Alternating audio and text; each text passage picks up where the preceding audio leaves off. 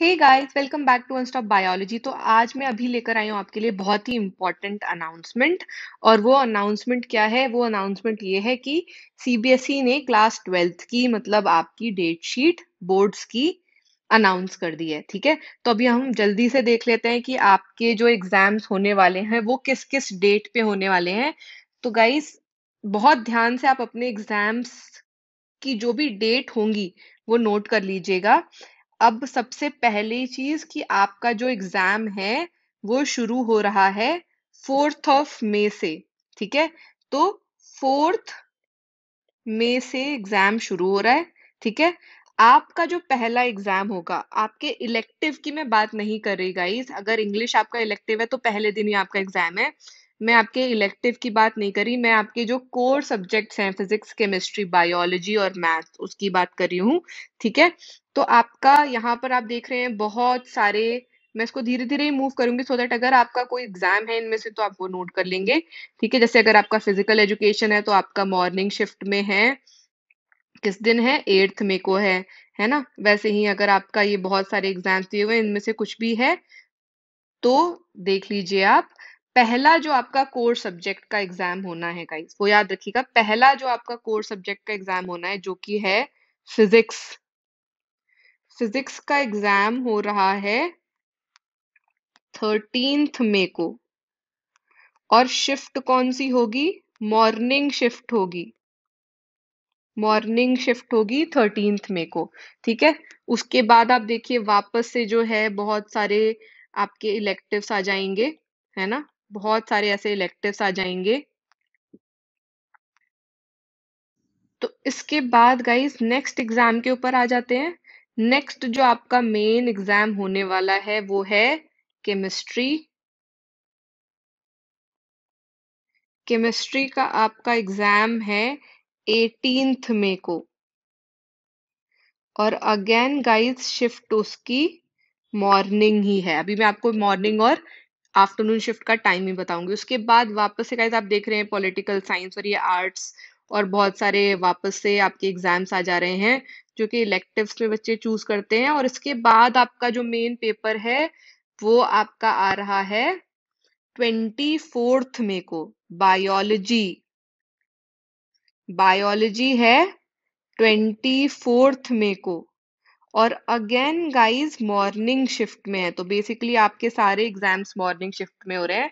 और गाइस अगर आप जेई के स्टूडेंट हैं और आप ये वीडियो देख रहे हैं तो मैं आपको इसके आगे भी दिखा देती हूँ कि मैथ्स मैथ्स का एग्ज़ाम जो है, ठीक है? आपका मैथ्स का एग्ज़ाम हो रहा है फ़र्स्ट जून को। फ़र्स्ट जून को खत्म हो रहा है बेसिकली है ना? और ये भी शिफ्ट जो है मॉर्निंग की ही है।